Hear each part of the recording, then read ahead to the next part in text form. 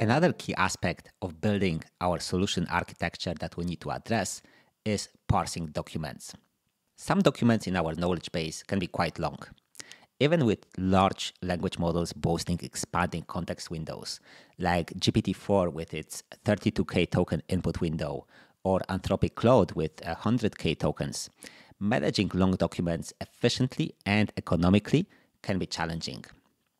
To tackle this, we can chunk documents using a sliding window.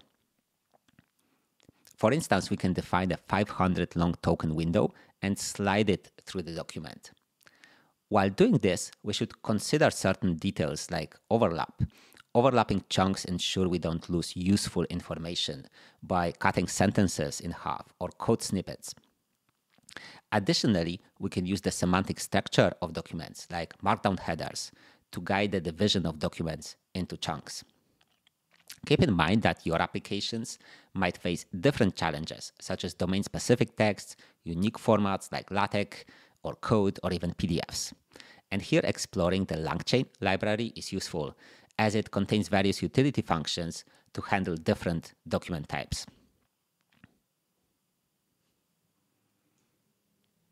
In the upcoming video, we'll delve into the workings of our solution.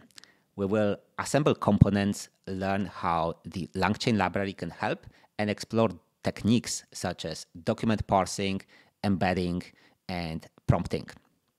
We'll start by doing these tasks interactively in a Jupyter notebook and then think about exposing our application in a user interface.